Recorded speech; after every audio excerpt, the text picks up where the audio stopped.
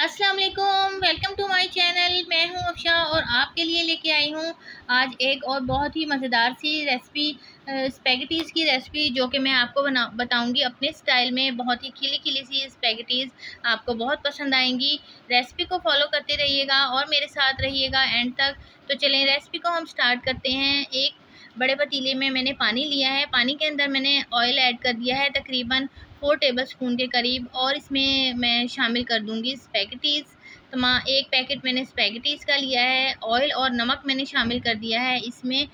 Spaghettis को आपने boil कर लेना है, जब एक उबाल आ जाए तो आपने इसे चारों तरफ़ से मिक्स कर लेना है, ताकि एक साइड से हमारे ये स्पैगेटीज़ कच्चे ना रहें। तो उसके बाद आपने इसको देख लेना है कि स्पैगेटीज़ हमारे गल चुके हैं।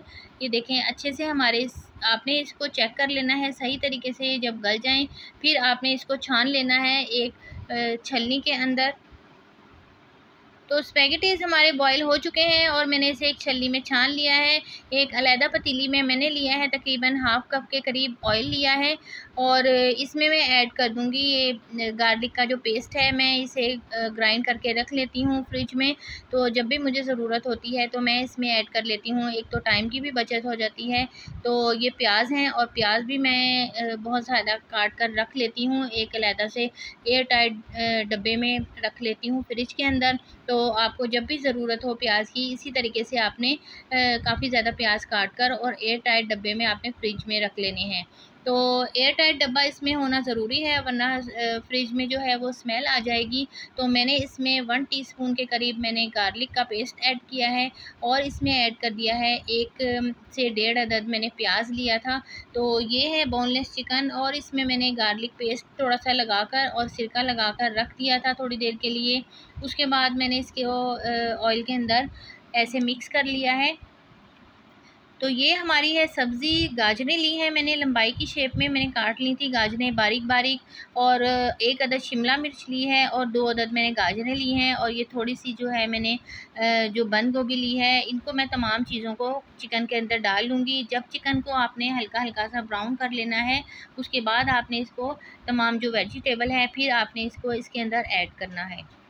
तो इसको चिकन के साथ ही मैं वेजिटेबल को मिक्स कर लूँगी, तमाम सब्ज़ियों को इसके साथ ही हल्का हल्का सा भून लूँगी। साथ ही मैं इसमें डाल दूँगी जो हमने बंद गोभी काट कर रखी है, वो भी मैं इसमें शामिल कर दूँगी और इसके साथ ही इसको अच्छे तरीके से हल्का हल्का सा फ्राई कर लूँगी। एक तो फ्राई करने से ये ज़रा थोड़ी सी जो वेजिटेबल हैं क्रिस्पी हो जाती हैं और इसका टेस्ट भी बहुत अच्छा आता है।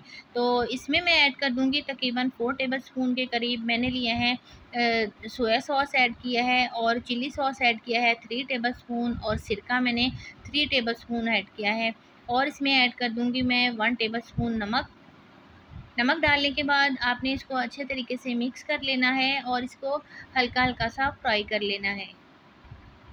तो स्पेगेटीज़ जो हमने छान कर रखे थे, इसके अंदर मैंने डाल दिए हैं तकरीबन हा टी थ्री टेबल स्पून के करीब मैंने ऑयल लिए हैं। वो मैंने इसके अंदर डालने के बाद आपने स्पेगेटीज़ को अच्छे से मिक्स कर लेना है। ऑयल के अंदर एक तो ऑयल डालने के से ये जुड़ते नहीं हैं और दूसरा जो, जब हम स्पेगेटीज़ उसके अंदर डालेंगे तो एकदम ये बहुत ही खिले खिले से बनेंगे। तो स्पेगेटीज़ हमारे रेडी हो चुके हैं। अब ये हमने जो सब्ज़ियों का और चिकन का मिक्सचर तैयार किया था, उसके अंदर मैं ये तमाम जो स्पेगेटीज़ हैं वो डाल लूँगी। थोड़े थोड़े करके आपने इसको मिक्स कर लेना है और साथ ही आप इसको मिक्स करते जाएँ थोड़े थोड़े करके ये देखें, इस तरीके से आप मिक्स कर दें, फिर उसके बाद आपने तमाम स्पैगेटीज़ अपने जो हैं वो डाल देने हैं और इसको दोनों जो चम्मच हैं, उनकी मदद से आपने इसे अच्छे से मिक्स कर लेना है। ये देखें, सब्ज़ियाँ और स्पैगेटीज़ जो हैं और चिकन अच्छे से मिक्स हो गया है। कितनी अच्छी सी इसकी कलरफुल सी लुक आई है। अगर आप इसे, इसमें थोड़ा सा इसे स्पाइसी करना चाहते हैं तो आप इसमें कुटी हुई लाल मिर्च भी शामिल कर सकते हैं। तो इसमें मैंने ऐड कर दिया है केचप केचप आप इसमें जितना शामिल करना चाहें, आप उतना शामिल कर सकते हैं, जितना भी आपको पसंद है। तो केचप शामिल करने के बाद भी इसे अच्छे से मिक्स कर लें। मज़ेदार और जूसी सी हमारी चिकन स्पेगेटीज़ की रेसिपी बनकर रेडी है। आप इसे घर में ज़रूर ट्राई कीजिएगा और मुझे फ़ीडबैक ज़रूर दीजिएगा। टेक केयर अल्लाह हाफिज़।